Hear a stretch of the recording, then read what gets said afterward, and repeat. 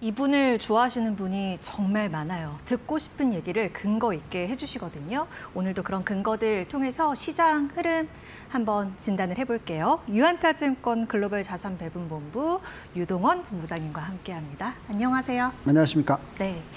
코스닥은 아주 조금 상승 전환했고요. 네. 코스피도 낙폭을 줄여는 가고 있는데 그래도 네. 안심하기는 어려워요. 왜냐하면 주말을 앞두고 뉴욕 증시가 조금 힘들었거든요. 그렇죠. 최근의 조정을 어떻게 해석하고 계세요? 저 이게 참 한국장이 미국 시장을 쫓아가는 경향이 크지 않습니까? 네. 어, 그렇다 보니까 이제 계속해서 조정을 받고 있습니다. 어, 저 저희는 이제 미국 시장과 글로벌 시장을 들여다보는 입장에서 어, 미국 시장이 지금 이 조정이 그렇게 뭐 계속 장기화될 조정 같아 보이지는 않는다라는 얘기를 해드리면서 어, 결국 시장이 지금 어, 미국 시장의 어떤 그 흐름 자체가 경기 침체냐 아니냐라는 어떤 이런 논란, 음, 그리고 그걸 가지고 이제 금리를 얼마나 많이 내릴 건가, 뭐 이런 부분들을 가지고 지금 시장은 변동성을 자꾸 이야기를 하고 있습니다. 네. 어, 그렇지만 뭐 시간이 좀 지나갈수록 어, 좀 안정을 찾을 거라 생각하고 있고요. 어쨌든 이벤트가 일어나기 전이니까 이런 변동성이 나오는 거고, 그게 이제 9월 18일이잖아요. 예. 그 이후에는 좀 안정을 찾을 거라고 생각은 하고 있습니다. 이벤트를 앞 둔 어느 정도의 변동성이다. 장기화할 조정은 아니다라고 말씀을 주셨습니다. 크게 두 가지를 말씀해 주셨는데 오늘 첫 번째는 경기 침체 부분 그리고 금리 인하 뭐 어느 정도 할지 이것에 따라서 증시 영향 어떻게 될지 그런 부분 위주로 얘기를 해보면 될 것 같습니다. 그 최근에요 연준 2인자의 비컷 염두에 둔 발언이 이 시장이 모르는 경기 침체 가능성을 내포한 것 아니냐 이런 우려 나오면서 또 우려감이 커졌거든요. 이건 어떻게 평가하고 계세요? 네, 어, 사실 뭐 그런 거죠. 이제 금리를 너무 빨리 내려주는 모습을 보여주면 아, 뭔가 우리가 모르는 경기 침체 가능성 리스크가 있는 게 아니냐. 이제 이렇게 생각을 하고 해석을 할 수가 있겠죠. 어, 근데 이제 저희가 판단하기에는 사실 금리를 좀 많이 올렸죠. 네. 예, 저희도 급격히 많이 올렸었죠. 예, 그렇죠. 우리가 빅 스텝, 뭐 자이언트 스텝, 뭐 이런 것들 계속 나오면서 네. 특히 2022년 어, 3, 4분기 이때는 정말 힘들었지 않습니까? 음, 네. 그래서 이제 그런 부분을 해소시켜 주는 차원이다라고 해석이 되면 뭐 0.25%를 내리던 0.5%를 내리던 아. 큰 변화는 없을 것 아. 같아요. 어, 결국 인플레이션이 어느 정도의 수치가 나오느냐 이제 이번 주에 또 나오죠. 예. 예, 그 숫자가 만약에 이제 앞자리 수가 2자를 계속 보게 되면 어, 아마도 이제 시장은 좀 환호를 할 겁니다. 그래서 결국 이제 금리를 내려주는 속도가 경기 침체와 연결되느냐 안 되느냐에 따라서의 어떤 변동성일 수 있는 거고요. 그렇지만 저희는 0.5를 내려주거나 0.25를 내려주거나 저희는 경기 침체의 가능성은 상당히 낮다라고 생각하고 있어서 네. 어, 사실 이 이벤트만 지나가고 나면 어, 시장이 안정을 찾을 수 있을 거라 생각하는데요. 그렇지만 그렇다고 하더라도 여기 지금 도표에 올려드린 건 뭐냐면 예. 만약에 그 속도가 굉장히 빠르게 내리면서 어, 0.25씩 내리거나 뭐 0.5를 내리거나 어쨌든 간에 짧은 기간에 1.5%를 내려줘 버리면 이건 굉장히 빨리 내리는 거죠. 예. 왜냐하면 인플레이션 더하기 2% 하면 4%거든요. 예. 그래서 지금 현재 금리에서 1.25% 1.5% 내려주면 그 4%가 되는 거예요. 근데 그것보다 더 빨리 내려 더 많이 내린다. 이러면 이제 어 우리가 진짜 모르는 경기 침체 리스크가 어, 있는 게 아니냐 예. 이렇게 해석이 될 수가 있습니다. 네. 그래서 어, 거기에 대한 어떤 두려움이 있을 수가 있고 고- 그렇지만 어쨌든 지금은 이런 이벤트가 일어나면서 경기 침체 가능성은 낮은 거고요. 또 어, 만약 금리를 빨리 내려줬다고 칩시다. 음. 이랬을 때 인플레이션이 다시 재발발해서 또 올라가게 되면 이건 또 문제가 되겠죠. 음. 그렇죠. 래서 이제 그 숫자들 나중에 또 확인을 해야 되겠죠. 음. 근데 어쨌든 지금 현재 시점에서는 금리를 내려주는 과정에서 인플레이션은 지금 계속 낮게 나오면 음. 어, 시장은 다시 반등을 할 수 있는 그런 환경으로 접어 들어가고 있다라고 생각을 하고 있습니다. 네. 금리 내려주는 강, 이런 과정에서 어느 정도의 그 인플레이션 수치에 맞춰진다면 이렇게 침체로 갈 가능성은 낮다라고 말씀해 주셨는데 제가 본부장님 말씀에서 주목한 단어는 이거예요. 지금은 음. 지금은 아니에요. 네. 네. 이 부분을 짚어봐야 될 것 같아요. 맞아요. 자, 원래 이제 경기 침체가 오느냐 안 오느냐 하는 부분에 있어서 왜 이제 이걸 자꾸 지금은 아니냐를 보냐면요. 어, 이제 금리를 처음으로 내려주기 시작해요. 네. 그리고 나서 12개월 동안의 경기 침체가 안 오잖아요. 그러면 미국 증시는 보통 15% 20% 올라요. 근데 이제 금리 내려주기 시작해서 12개월 안에 네. 경기 침체가 오잖아요. 그러면 시장은 마이너스 10% 15% 빠집니다. 어, 예. 확인의 다른 네. 모습인 거죠. 그래서 결국은 어, 저희가 판단하기에는 12개월 안에 경기 침체 올 확률은 거의 없다. 음, 그렇기 때문에 앞으로 15% 20% 오를 거다 이렇게 예측을 해드리는 거고요. 어 근데 뭐 2년이 지나고 나서 3년이 지나고 나서 올 수도 있는 거죠. 그래서 이제 그걸 보기 위해서 지표를 보는데요. 어, 많은 분들이 이제 이런 걸 보죠. 장단 금리차 역전 현상. 네. 예. 10년 마이너스 2년이 계속 지난 2년 2개월 동안에 마이너스였다가 네. 이제 플러스 전환했다. 과거의 역사상 기계 플러스 전환을 하고 나면 한 6개월 안에 경기 침체 오더라. 음, 90%의 확률로서. 그러니까 이제 6개월 안에 경기 침체 온다. 그러니까 빠져야 된다. 그러니까 이- 과거의 경험칙으로 봤을 때 그래야 왔으니까 네. 그럴 것이다. 네. 뭐 이런 예상들. 음, 맞아요. 근데 저희가 중요하게 생각하는 거는 사실 장단금리 차를 보는 이유는 뭐냐면요. 장단금리 차 역전하고 나서 네. 보통 은행권의 대출 성향이 바뀌어요. 왜냐하면 예대 마진이 줄고요. 네. 대출해주고 싶지 않은 환경으로 가기 때문에 그렇습니다. 음. 경기도 안 좋아지고. 어, 그래서 결국은 장단금리차 역전이 되고 나서 대출 증가율이 마이너스로 가게 되면 또는 급격하게 상승률이 떨어지게 되면 이게 경기 침체랑 연결이 되는 네. 거예요. 근데 이제 그 지표를 보시면 여기에 나와 있듯이 지금 빨간색을 보시면 올라가는 구간이잖아요. 예. 저렇게 쭉 올라가는 구간에 경기 침체가 오지 않죠. 음. 예. 언제 오냐면 급격하게 빠질 때 옵니다. 아, 그렇네요. 예, 그래서 지금은 이제 겨우 마이너스에서 플러스 2.9% 상승률로 바뀌고 있거든요. 음, 그리고 보통 언리, 언제까지 올라가냐면 두 자릿수 상승률까지 올라갑니다. 네.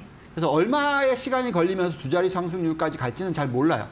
근데 이제 과거 보시면 경기 침체가 안 온 굉장히 긴 기간 보시면은 계속해서 올라가는 구간이 좀 이렇게 올라갔다 내려갔다 하면서 쭉 가서 결국은 궁극적으로 10%의 상승률 넘게 올라갔다가 네. 그 다음에 이제 빠지기 시작할 때 경기 침체가 옵니다. 어, 그럼 아직은 지금 요 빨간 줄의 길이를 봤을 때 예. 여력이 좀 남은 거네요. 많이 남았고 많이 얼마나 또 걸릴지도 모르는 거고 음. 그래서 저 숫자가 지금 2.9%인데 네. 10% 본다 먼저 그리고 나서 떨어지기 시작하면 그때 경기 침체 온다 아, 언제일지 모르는 거죠 그건 예. 그래서 어, 은행권이 어떻게 하느냐에 따라서 보통 경기 침체가 오느냐 안 오느냐는 결정이 됩니다 자 그런 가운데서 또 중요한 건 뭐냐면 네. 어, 우리가 흔히 얘기하는 이 생산성이라는 게 중요하다고 얘기를 하고 있는데 네. 경기 침체에 있어서 생산성이 왜 중요하냐면요. 어, 고용 지표가 경제 성장률을 얘기해 주기도 하지만 그것보다 훨씬 더 큰 게 요즘에는 뭐냐면 이 인터넷이 들어오면서부터 생산성이 향상이 되면서 한 사람이 생산해내는 양이 높아진 거죠. 음, 자, 저기 보시면 이 기울기가 어떻게 돼 있죠? 이렇게 올라가다 갑자기 인터넷이 딱 시작되고 나서 네. 가파르게 확.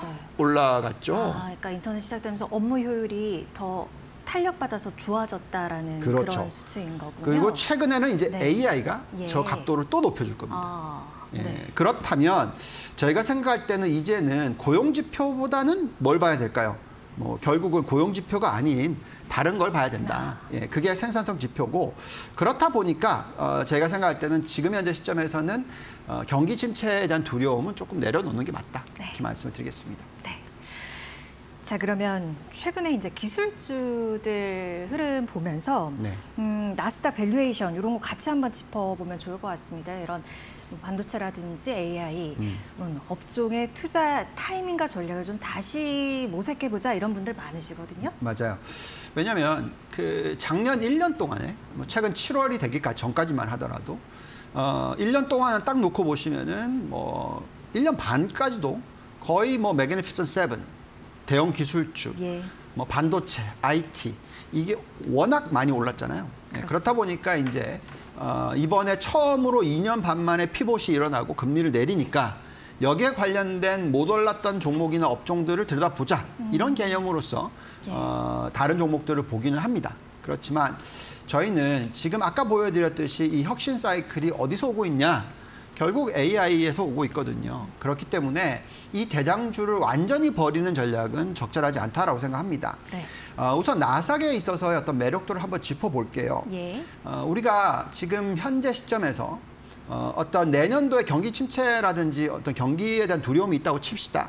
그래서 실질적으로는 지금 이익 증가율이 어, 나스닥 같은 경우에요. 내년도에 얼마로 지금 예측이 되고 있냐면 19%, 18% 이상 이렇게 나오고 있어요. 네.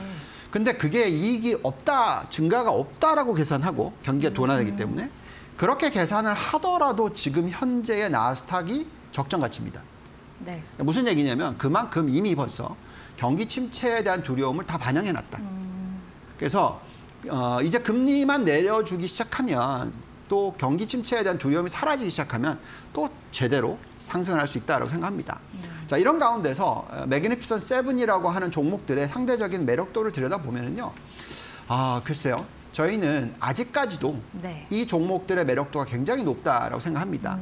어, 대표적으로 엔비디아, 테슬라, 애플. 이제 애플이 또 치고 올라요. 다음 장을 좀 넘겨주시면은 그러니까 애플 같은 매력도가 지금 오늘 또 어, 중요한 그 이벤트가 있잖아요. 아, 그렇죠. 예, 그래서 네. 애플 16 플러스 예, 여러 가지 이제 어, 얘기가 나올 텐데요. 어, 앞으로 이 AI를 어떻게 활용하느냐에 따라서 이제 많이 바뀌겠죠. 그러다 보니까 이제 차트로 보면 저희가 어떤 그림을 그릴 수 있냐면 M7의 주가의 흐름 자체가 저렇게 보시면 바로 이제 지금이 바닥이고 올라갈 수도 있는 거고요. 네. 아니면 조금 더 떨어져서 W자를 만드는데 음, 전 저점보다는 높은 저점 그리고 나서 올라가는 추세. 네. 근데 이제 저기 파란색 보면 이제 바로 내려가는 이 추세. 네. 그러니까 이렇게 얘기하시는 분들이 참 많아요.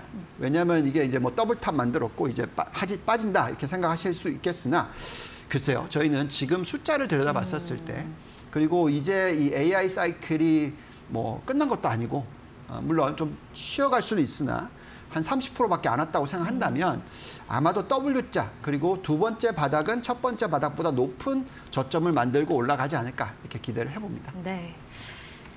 뭐 M7 종목들이 변동성이 있기는 했습니다만 우리 유 본부장님, 그러니까 글로벌 자산 본부, 본부에서 보는 이 관점은 어, 펀더멘털적인 매력도가 아직 크다라는 부분인 겁니다. 그렇기 때문에 뭐 현 시점에서 대형 수주를 다 매도하고 좀 보수적인 전략으로 가는 것보다는 여전히 뭐 AI 사이클에 연동돼서 움직일 수 있는 흐름에 대해서 주목을 하신 것 같습니다.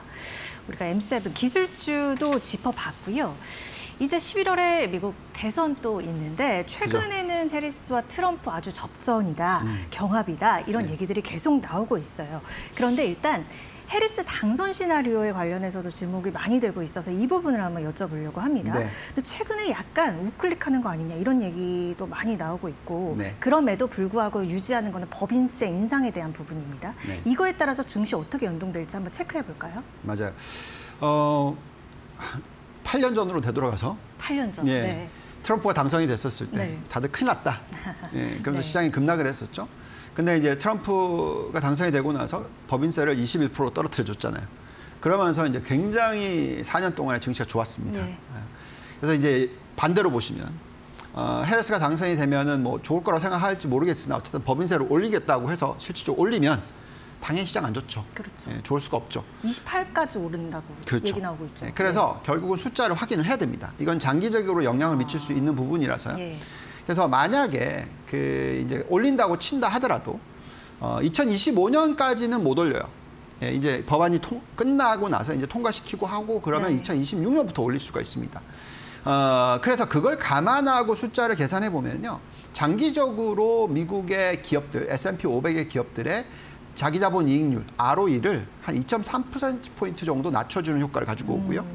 또 나스닥으로 계산하면은 한 2.7%포인트 낮춰주는 효과입니다. 크죠? 사실 네. 뭐 네. 어, ROE의 10몇 프로 전체 시- ROE의 10몇 네. 프로나 되는 수준인 거죠. 네. 그래서 상대적인 매력도를 뚝 떨어뜨립니다. 네, 어쨌든 이걸로 계산했었을 때 저희가 판단하는 그 올해 연말의 지수 만약에 통과가 됐다 그랬습니다. 그러면 S&P 500이 5,400이에요. 딱 지금 지수 때 정도 됩니다. 예, 그리고 어, 나스닥이 18,344 정도 됩니다. 네. 그러면 지금 지수하고 비슷한 수준이 되는 겁니다. 그래서 어, 다시 말씀을 드리지만 이미 이 부분에 있어서도 반영을 많이 했고요. 근데 중요한 것은 미래의 어떤 기대 가치는 떨어진다. 어, 매년 한 10% 이상, 15%에서 20%의 기대 가치가 계속 늘어나야 되는데 그게 줄어들겠죠. 그래서 연간 단위로 겨우 한 10% 정도의 기대 가치가 늘어날 수 있는 환경으로 바뀔 수도 있다. 그래서 요건 조심을 하셔야 됩니다. 네, 어쨌든 계속 들여다볼 거고요. 근데 그게 쉽게 통과가 될까요? 그건 두고 봐야 되겠죠. 네. 예. 네, 당선 시에 이런 변동 가능성이 있으니, 그러니까 중장기적으로 좀 이것은 우리가 좀 체크를 해 나가 봐야 할 부분일 것 같습니다. 한 가지 더요. 네. 해리스가 전기차 의무화 지지 안 한다. 뭐 음. 이런 외신이 있던데 단수 선거 전략일지 네. 뭐 어떻게 보고 계시는지. 아, 이거 머리 아픕니다, 사실. 예, 정치적인 그러니까 이슈로서 진짜 급선회하는 건지 예. 궁금해서요. 만약에 어, 이게 음, 의무화 지지를 하지 않는다라는 케이스가 되면 당연히 주가에는 악영향을 미칠 수 있죠. 그러다 보니까 뭐 테슬라 주가가 금요일 날 8% 9% 가까이 급락하는 모습이 나오기도 했습니다. 근데 이제 저는 이제 어떻게 생각하냐면 이 도표를 하나 좀 올려주시면은요. 예. 이게 바뀔까요? 예, 대세인 거죠. 즉 어, EB로 바뀌는 거는 뭐 당연한 것 같아요. 음. 예, 이게 뭐 지지를 한다, 뭐 법안이 통과가 된다 안 된다를 떠나서 어, 결국은 지금 뭐 지난 25년 동안에 전 세계 인구가 30%나 늘었더라고요. 예, 그만큼 지금 온난화 현상 예, 또 다시 덥잖아요 밤에. 예, 예, 글로벌 전기차화는 당연한 추- 수순이다. 음. 그리고 성장률이 지금 어떻게 예측이 되고 있냐면 27% 성장률. 네. 높은 숫자죠. 네. 저런 숫자가 아마 앞으로 계속 이어질 것 같아요. 음. 예, 그렇다면 물론 해리스가 당선이 돼서 지지를 안 한다 그랬을 때 일시적인 변동성을 일으킬 수 있으나 그렇지만 전기차에 대한 어떤 판매량의 증가는 매년 20% 이상이다. 그렇다면 예, 성장 업종이기 때문에 여기에 대한 관심은 가지셔야 되지 않을까라는 생각은 듭니다. 네. 자, 이 오늘 이제 말씀을 들으시면서 누군가는 안도하시고 이렇게 느끼셨을 것 같은데 그럼에도 불구하고 그래도 9월 10월 좀 약세장이잖아 우려하시는 분들 많단 말이죠. 네. 말씀을 종합해서 우리가 포트폴리오 전략을 이쯤에서 조금은 수정을 해도 될 부분이 있을지 이 네. 부분 체크해 주시면 좋을 것 같아요, 본부장님. 네. 크게 제가 두 가지를 계속 얘기해 드리고 있는데요. 지난 몇 주 동안에. 우선 첫 번째는요. 그 IT 업종에 대한 투자를 하지 말자가 아니고요. 그 중에서 약간의 좀 변화를 시키자. 어, 어디에 변화를 시키냐면요. 소프트웨어 쪽입니다. 그래서 소프트웨어에 대한 지금 투자 증가율이 얼마나 늘어날 건지 한번 테이블을 올려주시면은 어, 과거에는 7%대 성장률에서 어, 이제는 11.3%대 성장률로 크게 확대가 될 거라고 예측이 되고 있어요. 네. 예, 그렇다 보니까 이걸 감안한다면 어, IT 업종 안에서 저희가 여태까지는 하드웨어 쪽을 80%, 어, 소프트웨어를 20%만 투자를 하는 전략을 펴왔었다면 네. 이제는 다음 장 넘겨주시면 어, 하드웨어 쪽을 많이 줄이고요. 소프트웨어 쪽을 많이 늘리는 전략. 음. 그렇지만 그래도 반반.